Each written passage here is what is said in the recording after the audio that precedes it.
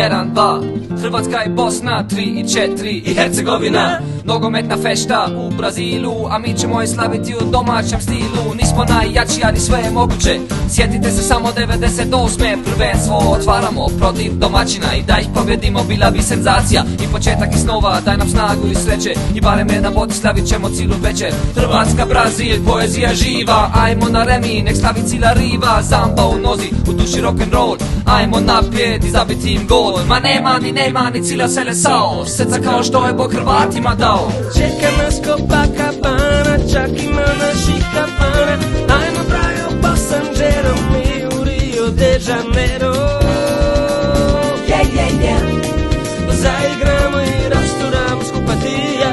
Croatia BiH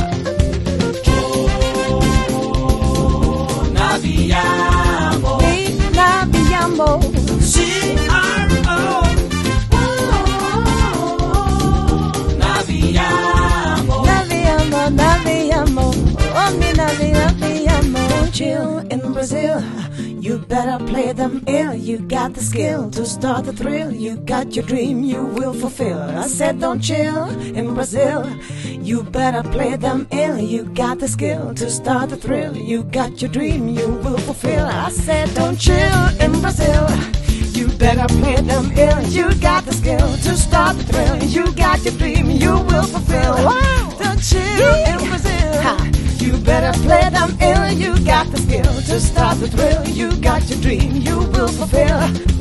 Mi i Brazil, Argentina, BiH Cila Bosna je ponosna Napokon su došli na svetsko prvenstvo Dok nije protiv vatrenih, nek nam bude sretno BiH premijera, BiH premijera Sjajna Atmosfera je vatrena, igrači su gladni A pobjeda ne ovisi samo o nogometnoj snazi Biti su srce i borba, sreće da na Bog snagu nek nam dade čorba. Zagreb, Sarajevo, Split i Banja Luka. Nadam se da ćemo ići do kraja skupa. Hrvatska i BiH Ove godine u finalu.